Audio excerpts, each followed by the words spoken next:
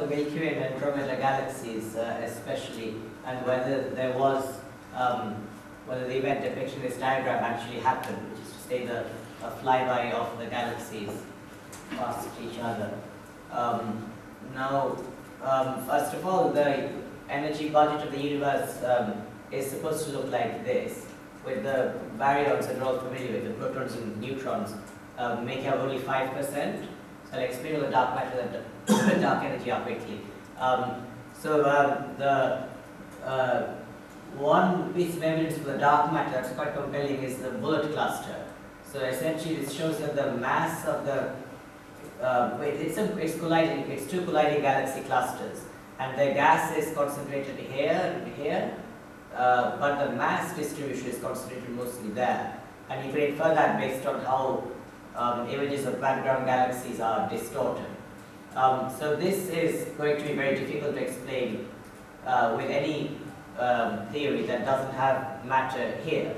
And um, because the, the gas isn't there, then probably what is there is dark matter. Um, so it does look like you need dark matter. However, the important thing to realize is the Milky Way would be very small at this scale. It wouldn't really be visible at all. So although the universe does look like it has dark matter, it's not obvious that it is capable of clustering at small scales. Um, so um, also the um, speed of the uh, galaxy clusters that are colliding here uh, is very high. It's about 3100 kilometers per second. And in the standard model, uh, that is very unlikely. So this is a probability distribution for the speeds uh, of at which two galaxy clusters collide. Um, with, with modified Newtonian dynamics, the uh, gravity stronger at long range, and that increases the impact speed. That makes it means that you you get fewer impacts at low speed and more at higher speed, and that makes it much more plausible. So it looks like some kind of long-range modification to gravity is going on. Um, What's the axis? Probability distribution. Uh, it's a fraction of uh, ga galaxies which collide at uh, some speed or less. Uh, yeah. Um, so yeah, for example, like a, yeah, like with a standard model, the probability of a speed which is higher than this is very small. Um, so um, that so uh, what uh, people studying this have said uh, is that this is unlikely in the standard model. Basically, the probability is about 10 to the minus 9.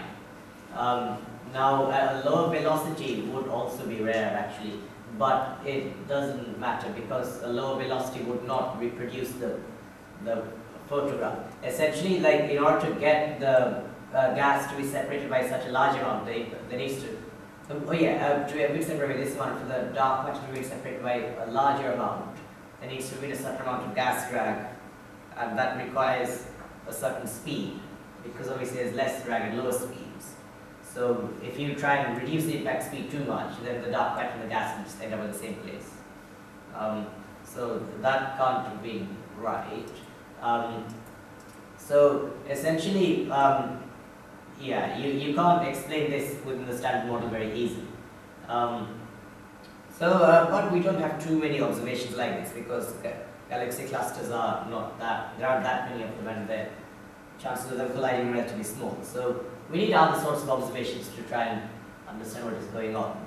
Um, so before we um, do that, first of all, the, the important thing to realize is that galaxy clusters seem to need dark matter uh, but they also seem to need stronger gravity.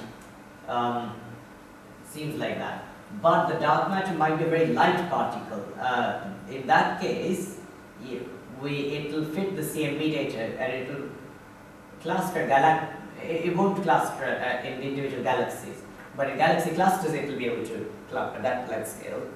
It's simply like the uh, question of like what the typical length scale that you can travel is because it's quite low mass, it, it moves very fast and it's unable to clump at galaxy scales. Um, so that's possible, and, uh, and if that was true, then galaxies wouldn't have dark matter. But you'll be consistent with all the evidence I've shown so far.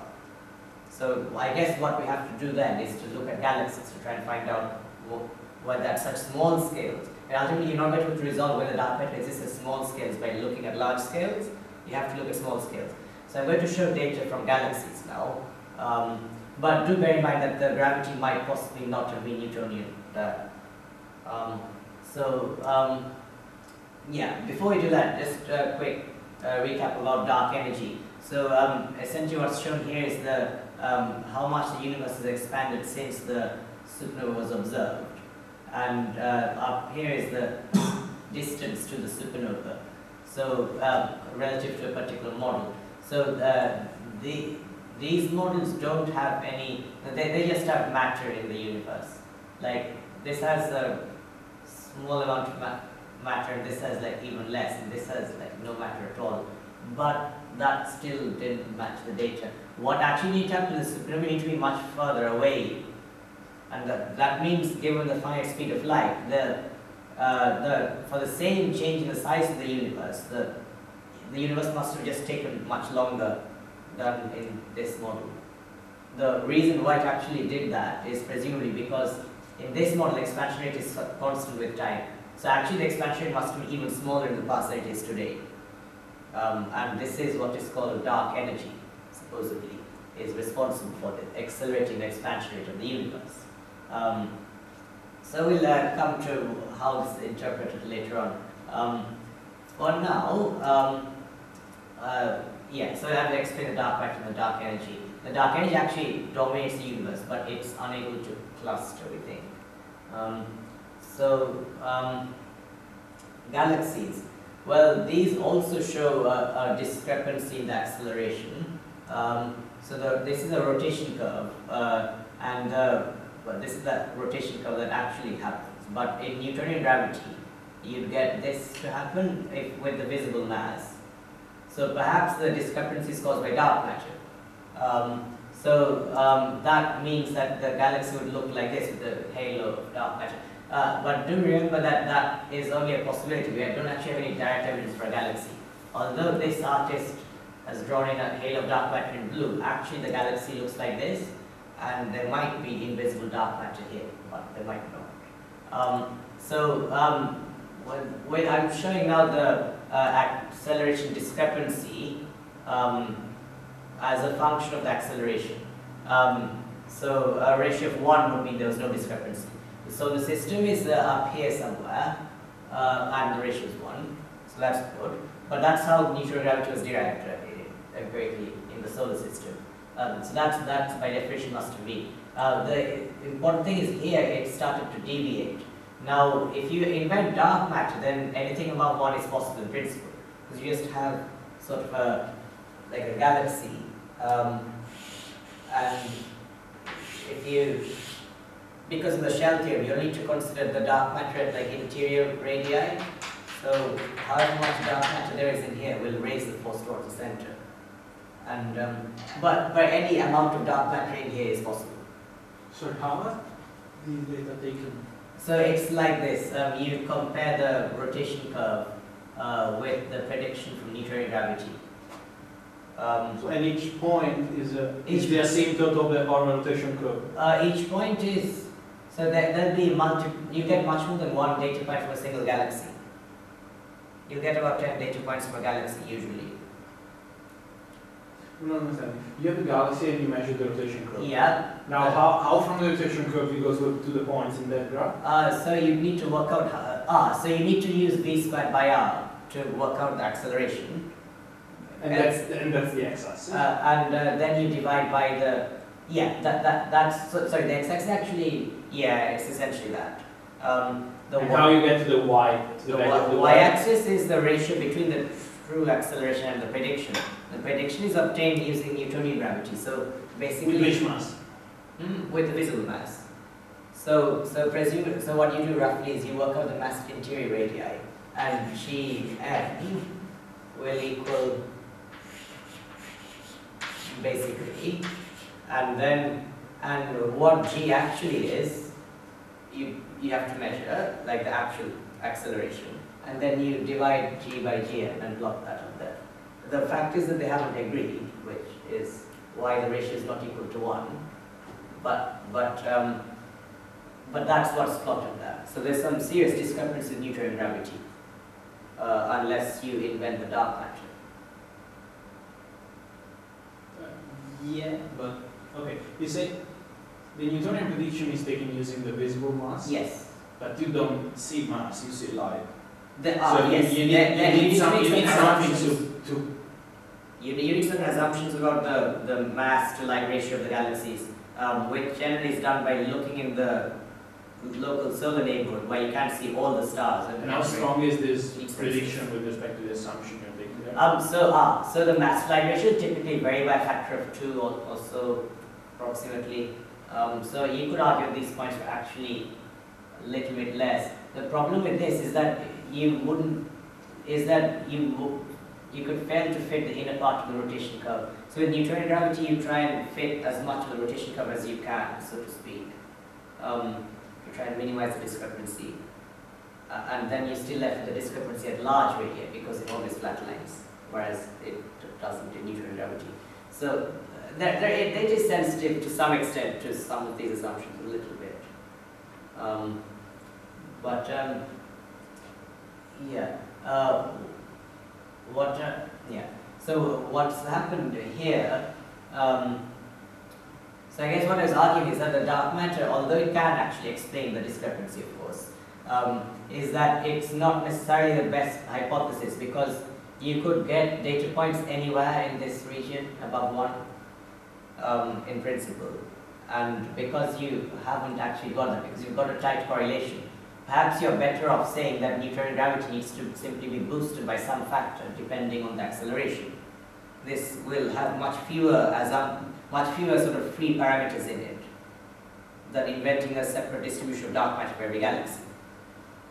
Um, but I haven't explained why gravity might be modified yet. Um, so um, we'll have a look at Newtonian gravity in a sec now. Basically, it doesn't always work. Uh, what the example I've given here is uh, that if you equate the Newtonian gravitational force with the circular rotation speed, like the centripetal force, then you get like the rotation speed. And if that, so that's a good prediction. And it should work, but if the velocity is close to the speed of light, you know that you probably get the numbers wrong. So you want to use general relativity in that case. Um, so we used circumstances where Newtonian gravity doesn't. Um, now that's because of relativity. What about with quantum mechanics? Then mechanics, then that actually affect um, gravity uh, in in certain circumstances. Well, what's uh, important to realize with quantum mechanics that you can't attain arbitrarily high accuracy in position velocity measurements. So you can't attain arbitrarily high acceleration measurements. Um, now, um, classical theories, of course, like ignore such facts because they assume you can do things exactly. Um, now, let's suppose there was a region of space-time which was like curved because of some matter here. It was, it was, it looked like that. So classically, you treat it like this because, of course, you know all the fluctuations. Um, but um, here, the mass, for example, is much less. The acceleration is much less. Consequently, um, it's only a little bit curved. Of course, they're drawing the fluctuations as well because there must be. So what do these lines actually represent? Like this is representing how it, it's to get- designed to give an idea of how space-time like looks, roughly speaking. What Like- does that mean? It, it's just a schematic idea. It is to show, like, normally we have this picture of space-time being curved due to the presence of matter. Yeah. So this is what I was trying to show. The classical theory does that, but in reality it must have looked like this because there must have been some sort of fluctuations going on, unless you don't believe in quantum. Um, so here, like, it's the same, except that the acceleration is much smaller. Um, that's the only difference between these diagrams. And here again, it's much the same, like the classically, but the acceleration is smaller. The problem is here, uh, you could approximate this like this and say that was more or less a good model. Whereas here, if you try and approximate this like this, then, you know, depending on various such things, like you might possibly have gotten the numbers wrong. Because this wasn't, so on average, this looks like the same, but for example, if there was a lot of energy carried in these fluctuations and, the, the, and they're absent here. So there might have been some trouble with the classical theory uh, at very, very small curvature. Um, so we'll try to get a rough idea of when the classical theory might actually get into trouble because of the quantum ignores. Um, now, basically what I'm suggesting is that space-time will look smooth um, if you peer it without worrying about accuracy too much. But if you want to say, ah, the accuracy of this object is 10 to minus 10, then you must be look, then you must have been making assumptions about space-time being very, very like smooth and possible to measure things that accurately. And um, well, that means you have to be looking at it sort of, or schematic is that you look at it sort of closer and closer. Well, and eventually you start to see the quantum nature of space-time. So we, roughly speaking. So um, that, that must, that is likely to happen at some scale, we don't know where it is, or what is what it actually looks like. But um, if there was, if the curvature, um, yeah, another thing to realize is that the, the curvature here probably carries energy. Um, because the curvature is sort of, you don't know exactly how much it is and it oscillates in certain ways. So it's quite likely, I think, that the space-time will carry certain many small amount of energy. Um, now, if you actually look at the universe on large scales, it, it, it is accelerating apart. And um, it's, most people I think would agree that this is some sort of vacuum energy which was associated with every bit of space-time, essentially. Um, so, um, I don't know if that's right, but uh, for the moment we can, as I'm assuming it is, in that case, what you can do is you can use the energy density in the vacuum, which we have a measurement of under this assumption, and compare it with the energy density in a gravitational field, which is given by this equation. So this is the energy density in a classical gravitational field. Uh, general relativity won't matter for weak fields uh, in any case. So this is a neutron gravity result, so you've known for centuries. This uh, you estimate from the dark energy measurements. Um, if you then do this, then this is the outcome. So you basically you expect modifications to gravity due to quantum effects might possibly arise at an acceleration of uh, 10 to the minus 9 meters per second squared and less. Um, so th this is one, this is possible. Um, at least like I don't think you could like promise me that gravity would be work classically at accelerations below this, whereas at accelerations above this, it, it would be unlikely for gravity to deviate from classical theory. Um, so it's, it is possible for deviations to come in below this, but not really much above it. Um, so um, what actually happens with these low accelerations? Well, basically, um, classical theories shouldn't work very well anymore because really to be using a quantum gravity theory, which doesn't exist yet. So we won't know what's going on. But um, at ever smaller accelerations where um, you have even less energy density compared to the vacuum in the gravitational field, like it seems like the discrepancy with the classical theory will be even larger. So uh, if you see in the data some kind of um, this discrepancy in neutron gravity that depends on the acceleration and doesn't depend on anything else seemingly, then it may be a signature of quantum effects. The reason is it's basically the energy density is controlling the um, deviation in this case, if that was observed. Um, so I'll just show the observations again quickly. Um, this is where I was suggesting gravity should be modified at accelerations below that um, be, because of quantum effects. So remember 10 to the minus 10 meters per second squared is a very small number. You'd be hard pressed to actually construct an experiment which could measure such a small acceleration. Um, and it may not even be fundamentally possible. We don't know yet if that is possible. Um, so um, it does appear that the ac acceleration is actually the only relevant parameter because obviously the galaxies are all different. There's all sorts of other parameters which uh, might affect them, but they don't seem to matter. So we'll come to that in a sec. But um, it does look like there is some kind of quantum effect going on. And of course, like uh, in everyday circumstances, we used to, like the failure of classical theories at very low energies, any kind of condensed matter physics, for example. So um, it's possible this is what was going on. So how actually is this supposed to work? Um, if you believe that it was actually a failure of the classical gravity, because we can't just write down the quantum gravity equations now so what you have to do is you have to say that Newtonian dynamics is off by some factor depending on the acceleration, which is empirical, and that means that we don't have a fundamental basis for this. Uh, however, you need the flexibility in your theory. There's no point writing down some equations and saying you know what's going on because you don't. So we have to have flexibility there. Um, but basically, obviously, it has to give more gravity to the same mass, and that way maybe may be able to resolve the problem of the acceleration discrepancy. Um, so uh, the basic equation looks like this, uh, that g times some mu function is equal to gn. gn is a prediction Newtonian gravity for the system. Um, so for spherical symmetry, you, it looks like this. Now, the, there is no modification if the mu function is equal to 1, which is correct when, when the argument is much greater than 1. In other words, when the field is much stronger than a0. You're, you're down here somewhere, and there's no modification. But at very low acceleration, the trick is to set mu of x equals x. And that means g will equal square root of gn times a0, because the function will equal to its argument. Um, and of course, if you take the square root of the Newtonian force, you get you get this, uh, because you get the 1 over r term instead of 1 over r squared, and the gm will become square root of gm. So um, that's interesting. Is that at all like reasonable? Um, well, they, first of all, um, the 1 over r uh, term is interesting because it means that if you then try and plot a rotation curve, you need to equate g with v squared by r. So v will be dependent of r, and the rotation curve will flatline. So that is correct in most galaxies. More importantly, the rotation curve will flatline at this value, which is square root of this.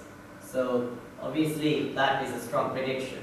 Now this actually does work in, in a wide range of galaxies. So what's shown here is the speed of uh, rotation, uh, kilometers per second, uh, at the flatline level. Uh, and um, up here is the baryonic mass of the galaxy. So this theory obviously assumes that's all there is. Um, and uh, it's worked over a factor of a million almost in mass. Uh, star-dominated galaxies are dark blue and gas-dominated ones are light blue. So these kinds of things have not had much effect. Um, what, what is also important to realize is that the, to fit this graph, we needed to assume that A0 is this much. But I was saying how quantum gravity effects should matter at about 9 times 10 to the minus 10. So it's the right order of magnitude. Um, the, the modification is uh, A0 essentially is basically where gravity is, um, I think, 50% stronger than Newtonian gravity. So it, it's about the right sort of acceleration scale, roughly. So what value of R did the correction start to kick in? What value of R? There was, value of, it was, it there's, was, there's, no, there's no particular value of R, it's just, there's no particular value of R. it's just the value G Newton compared to A. Yeah, so if you wanted to know like why exactly um, it, uh, why exactly you should use the Mondor result, basically it's in these circumstances. But this will depend on the mass of the galaxy, so it's not a particular radius. Yeah. But if you look at a particular galaxy, you could use that. Um, but um, so I'll show a more exact equation if you want in a sec. Um, but um, yeah, so th this is quite interesting. What does the Tully-Fisher relation actually mean in the standard model, where where there must be dark matter explaining everything somehow? So classically, the if galaxies had seven had one sixth of their mass being baryons and the rest being dark matter, uh, and the dark matter is distributed in a way that models show they should be. Then the rotation curve is sort of flat line, and um, you, but the problem is you end up along the dash curve, which is not good. Um, so somehow the the points must be transferred down there, which is assumed, uh, which is done presumably by losing baryons from the galaxy, uh, but that won't affect the rotation curve because they don't make up most of the mass. So it is possible to lose baryons from a galaxy. You can have supernovae drive gas out. Uh, this is not totally impossible. Uh, the problem comes when you realize that these are random processes and they shouldn't have led to tight correlations of this nature. Um, So, um, basically, you can lose baryons, as I was saying, but uh, in a small galaxy, you only need, for example, a small number of supernovae, and the process is going to be a little bit stochastic, uh, depending on where exactly they were, exactly how many stars formed, things like that. Also, if you accrete a lot of gas in the environment, that will push you like up, which would be perfectly possible. So, um, basically, a tight correlation of the, how much you drop from this curve down, from this line down, is basically unlikely. Um, in fact, like if you ask people honestly what would happen, and they didn't hadn't seen the data, then they'd probably say that points could move both below and above, and basically a, a thick region around here would be filled up by the galaxies, which hasn't happened. Um, so there is something a bit unusual here. Um, whatever the size of the galaxy, well, um, basically for the same mass of galaxy, obviously they have, it's not obvious, but they, but they do have a wide range of sizes. And that obviously doesn't affect at all how many baryons you lose for the galaxy. Well, that doesn't make much sense because it should do really. Um, the a larger galaxy, for example, will have much less density of gas, and it might, for example, form fewer stars, or it might be easy to drive gas out, or there might be any number of other things. So size is obviously quite important, right? Especially if a galaxy is 10 times bigger and therefore has 100 times more area, but the same mass. So um, that is, yeah. So what VF mean? Uh, VF is the velocity at the flat line level. Because it's tightly con- what's the flat line level? so, so basically what's done here is that you, um, actually the Tully-Fisher relation is a relation between the mass of a galaxy and like a certain property of its rotation curve. Uh, so, so, so this is VF. Looks like that. Um, the, the reason, so really you should plot mass here, but because it's so tightly correlated, it won't make a difference. Um, the important thing is that a galaxy the same mass has a wide range of sizes, which actually not so unreasonable. Um, How do you know that's the rotation curve that's like this? Um, is this from MOND or is it from no, no, but it's a rotation curve is a measurement. Um, why, why does the velocity tend towards a constant at 9 radius? It's the whole point. I don't know yet. It's your point to either introduce dark matter or modify drag. I, I mean, you, you, look at, you look at galaxies and galaxies behave like this. yeah, I, you, I, you do the you do the measurement. Those measurements are done by uh, like Radial velocity, yeah, the radial- Doppler shift radial velocity, like using H H two lines and stuff like that. everything You took the data and the data appears to lie on Yeah, something exactly. Which is called. I'm just drawing a typical rotation curve. Um, I, all, everything doesn't fit into your equations here. Um, so, um, Yeah, I must say something here on the dark matter side, which is that um, the problem on this on on this rotation curve is that they are not. You, we don't have data far enough. yeah, yeah. To see the I, I, I think like this I mean, there may be- If, if there's dark matter and the halo ends at some point, like Yeah, like, so- so like, like- like it does, we should.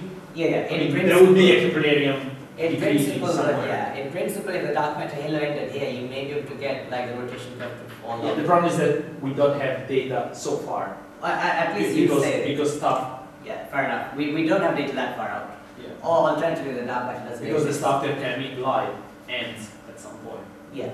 yeah. So according to MOND, the radius at which the velocity flattens out is when r is bigger than the square root of g over. Yeah, approximately that. Um, roughly. Or if you're doing Newtonian dynamics, it's where the halo. In Newtonian, we determine the properties of the halo and the disk. It's when the halo start to dominate. Basically, yeah. Um, so, but, but yeah, both explanations seem valid at this point, I think. Um, but the one was working with, yeah, I'll show you a rotation curve in a sec, so you have a better idea for what's going on.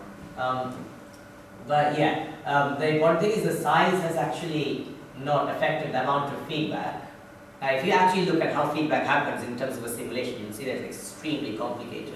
And therefore, it's very random, like exactly how much happens. Simulations always with a large scattering, how much gas you actually lost from a galaxy, even with various very simple initial conditions. It depends on so many complicated things. So obviously, like the, this kind of tight correlation is a bit unusual.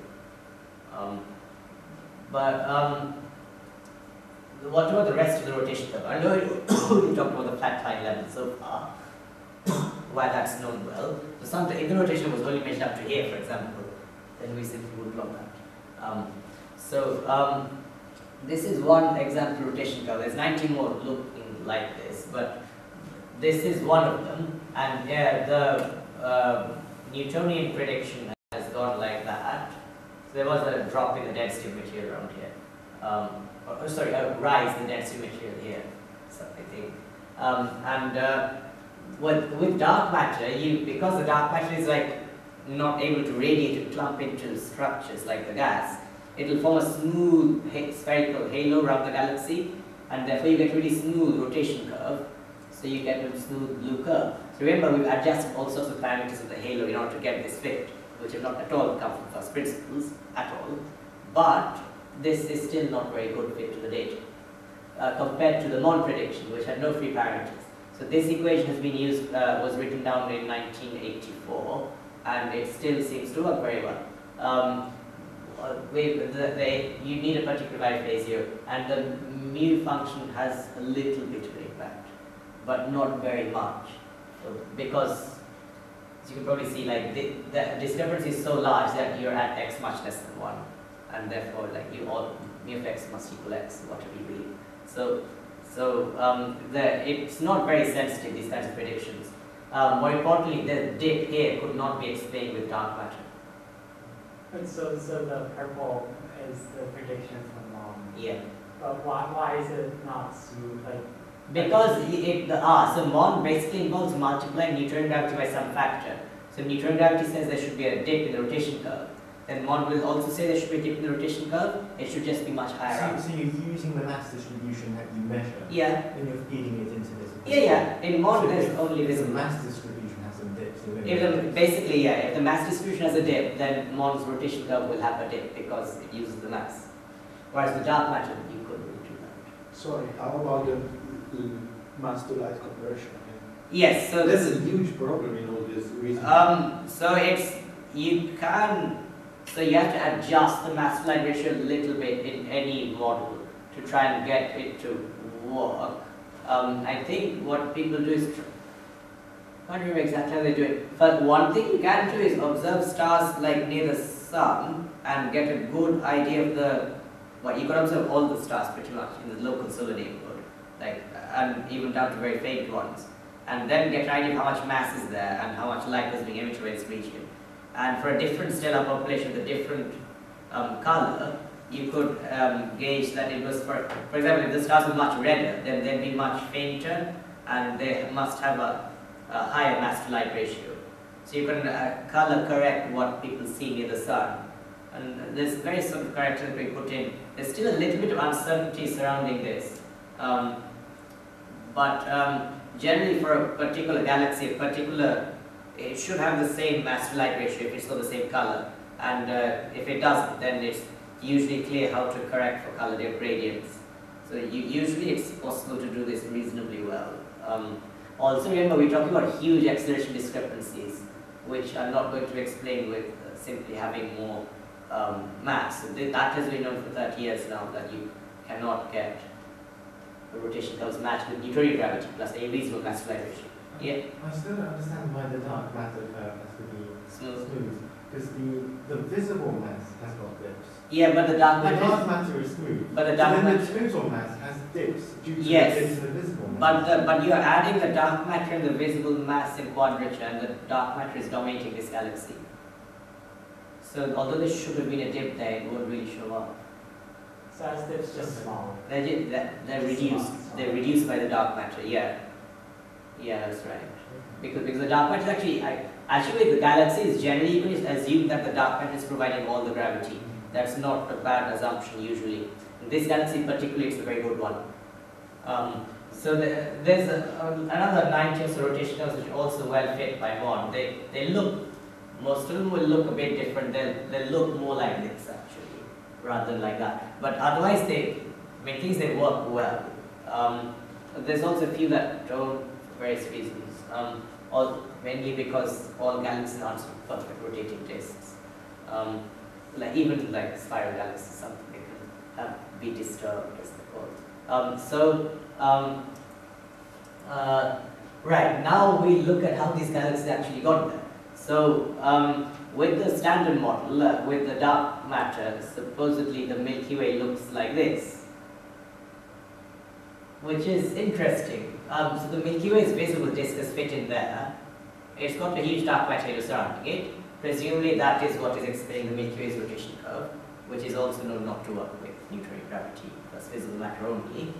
Um, the problem with this picture is like, why have all these like structures actually gone? Because this is what the, it actually looks like. Um, so what's happened, um, basically some of these very faint galaxies correspond to some of the small dark matter halos in this simulation. So the huge dark matter halos, well, that just vanished. So that's not good.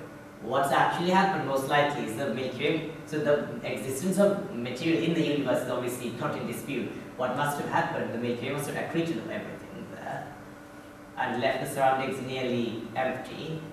Well, it is basically empty compared to this picture. And that probably requires you to have stronger gravity than in this model. Or you can have much less matter than in this model, but in order to form a structure like the Milky Way in the center, the, that matter must cluster much more efficiently. So um, with, with modified Newtonian dynamics, you do both at the same time, essentially. You have only, yeah. Um, but something along those lines seems to be required by the structure formation. The structure formation does not, does not seem to work well in the standard model. Uh, so you can argue that this might have been about right.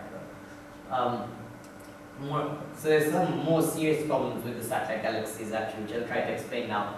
First of all, the Milky Way is a, a disk um, oriented this way. The, and the satellite galaxies are distributed like in a sort of vertical planar structure, which is a bit bizarre. Um, now, um, the yeah, so this is a real photograph of another galaxy.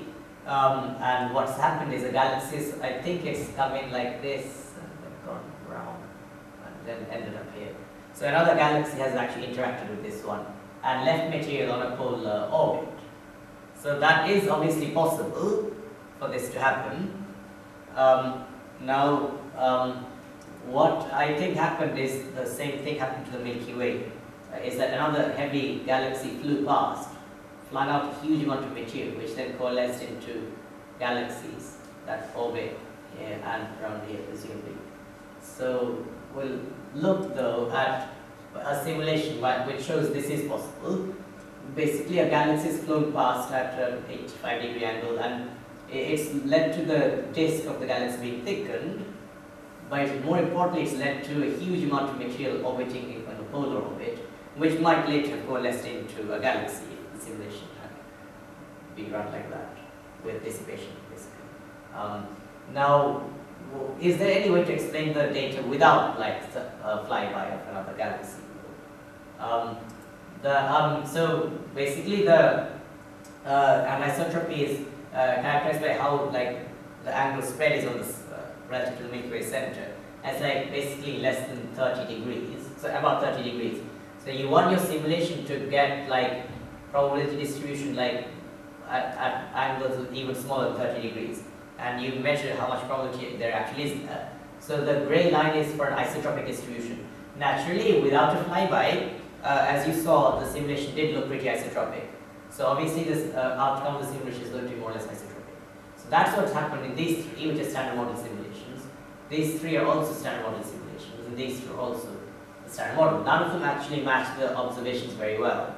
Um, this involved a flyby of a heavy galaxy with the same mass. That worked pretty well. Uh, these also work, but they involve a merger, and a merger would probably have destroyed the disk of the Milky Way, so that's probably not such a good idea, considering that the Milky Way disk does exist, of course, still. Um, so, how could a heavy galaxy have flown past with the same mass as the Milky Way? So there's only really one heavy galaxy nearby, which is Andromeda. So we have to look at that more detail now to see if this scenario makes any sense. Um, so um, Andromeda also has like 15 satellite galaxies in a thin plane. Uh, the, it's viewed edge on from, from the Earth because the Milky Way happens to be the same plane, which is quite interesting.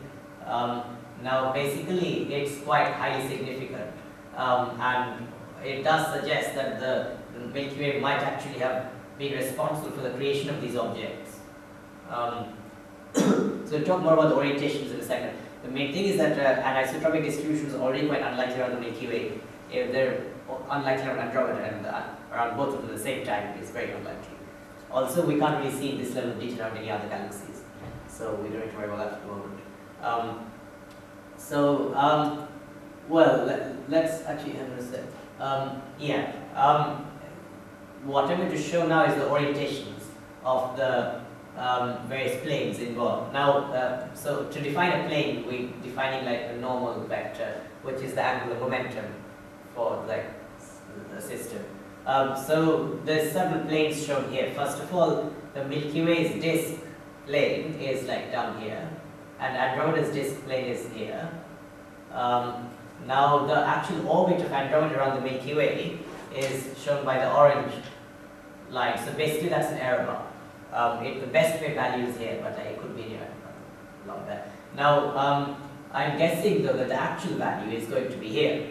And what has happened is that um, when you get the galaxy to fly past the Milky Way, um, the a gas particle which is sort of orbiting around the Milky Way will uh, gain um, angular momentum from Andromeda, and therefore you will sum the orbital angular momentum plus the initial angular momentum, like because it was in a spinning disk.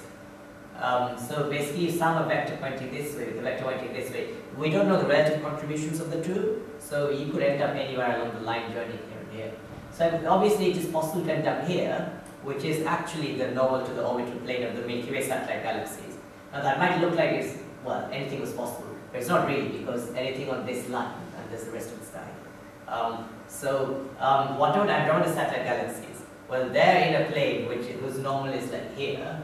So and uh, that for Andromeda you could have started you, you could have you could add like the orbital angular momentum with the spin angular momentum of Andromeda's disk, which is here, and end up anywhere between those two. So it would be possible to end up there. So um, the fact that the Milky Ways and Andromeda's like planes of satellite galaxies are not aligned like they're here, and here. So there's some gap. This could plausibly be explained by the fact that the disks aren't like spinning in the same direction, um, basically. So um, we have need to simulate this in more detail, but it's just an idea that this might be what happened. Um, so what about um, unbound satellite galaxies? Well, um, because some of them, in, if they were created in the flyby, some of them would have been flung out and just not captured. So they end up like on either these two planes, which looks quite interesting. Um, and uh, so it, it, there's some kind of serious anisotropy going on in the local group of galaxies anyway. Um, now, um, yeah, um, the uh, problem with the flyby is that it's not actually possible in Newtonian gravity.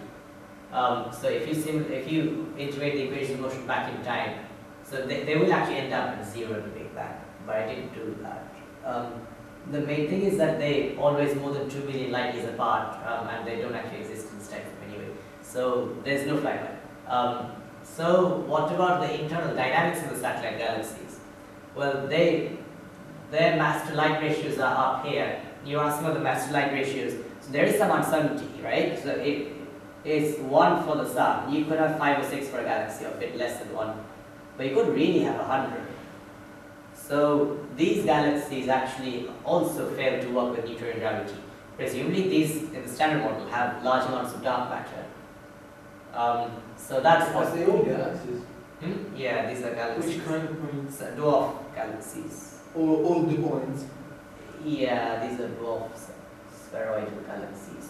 These are measured from velocity dispersions rather than rotation, but the is much the same um, measure of the acceleration. Yeah, but that, that, I mean, in the dark matter model, that's correct because you get, mean, from uh, cosmological simulation, you get that the smallest object they accrete more, accrete ma- more dark matter than larger objects. I didn't say it wasn't So that's, that's correct. Yeah, so it's I'm that. wrong in that. No, I didn't say there's anything wrong. I'm just saying that it's not right if you don't accept dark matter in these galaxies.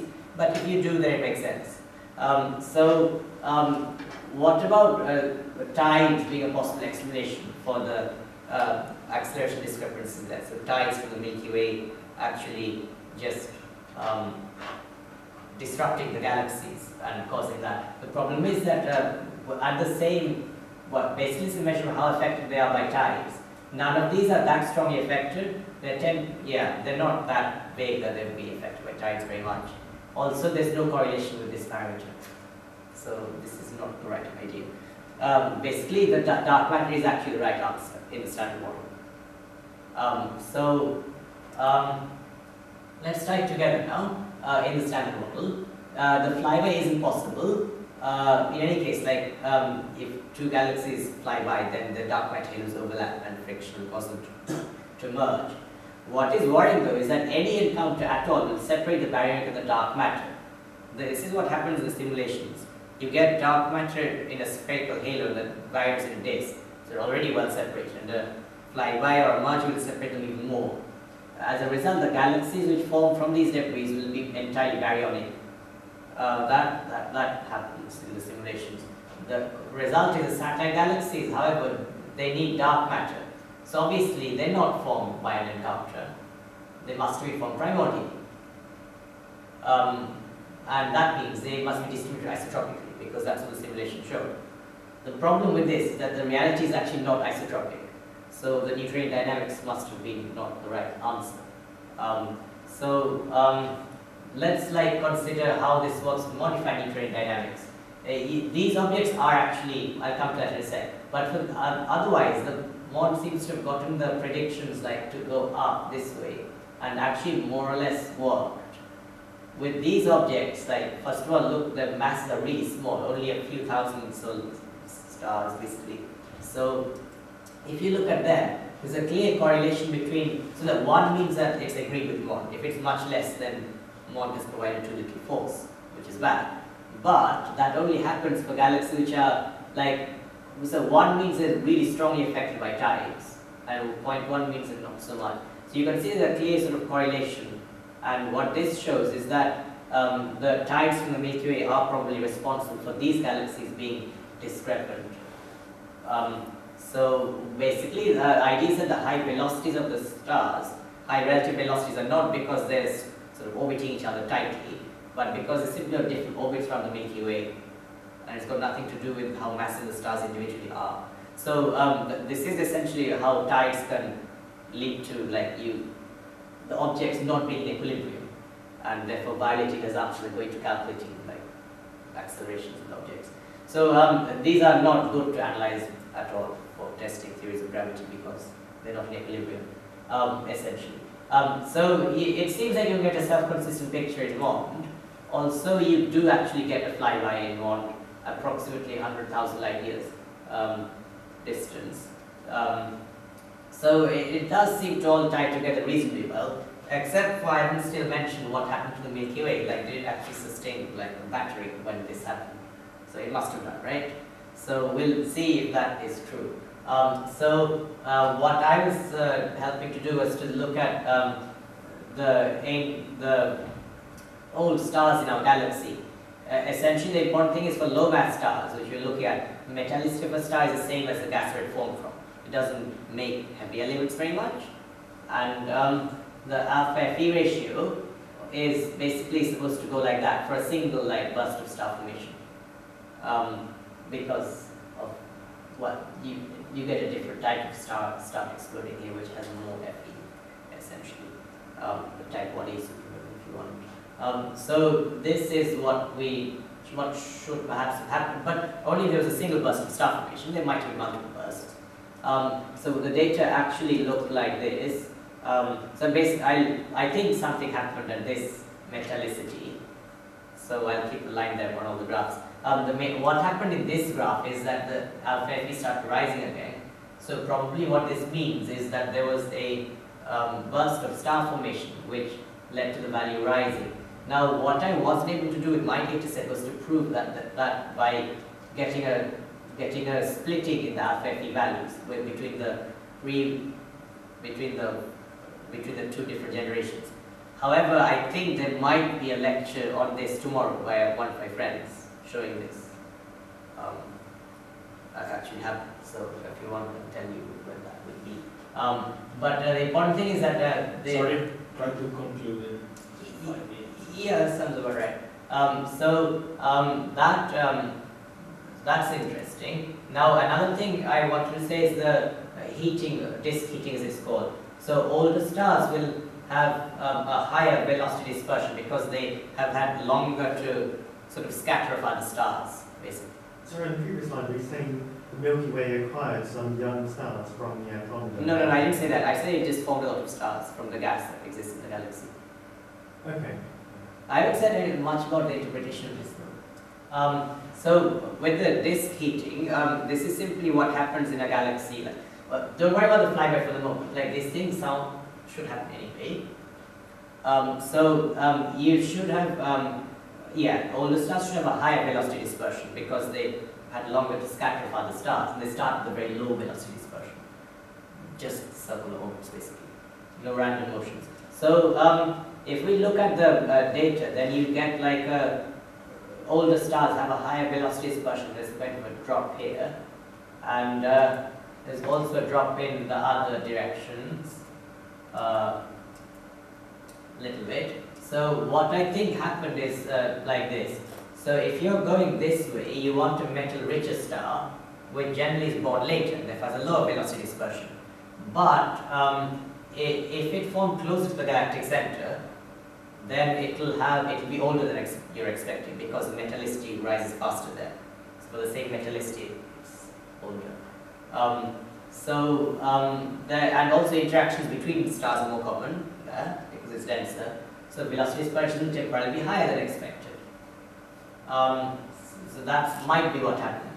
Now, um, also we'll look at the data, like, remember that if Andromeda did actually fly past, like, it's pulling on material radially away, but it, it's because of the geometry of the flyby, it won't have affected material in the vert, it won't have affected the vertical velocities much, because it's both above and below the galaxy at different times. So you expect a strong effect in the direction radially away from the galaxy, but not necessarily the vertical direction. So we'll have a look at that in a sec. Um, so in the radial direction, it does appear to be a sharp rise in the velocity dispersion. Um, in the tangential direction, it doesn't really look like it. Um, and in the vertical direction, it's fine. So like the radial direction doesn't appear to be special, suggesting an external perturber to the galaxy. Um, and uh, basically, um, I'd just like to finish what you saying um, you can uh, explain galactic dynamics without dark matter. Um, and uh, what I was focusing on is the ancient of Andromeda, which is supposed to happen with one.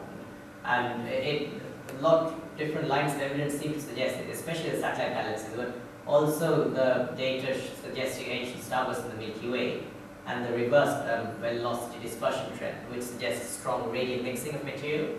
Um, so, um, yeah, that might be what I'm doing for PhD. I'll explain that later if you like. Um, so, um, uh, basically, uh, we haven't found the dark matter, uh, and we've actually ruled out quite a lot of possible dark matter particles. Remember that dark matter is beyond the standard model of particle physics, which is quite well understood by now. Um, but gravity is very poorly understood. So perhaps what's actually going on is that you need quantum gravity to explain galaxies rather than dark matter. And if you don't have the quantum gravity, then then that doesn't make the world classical.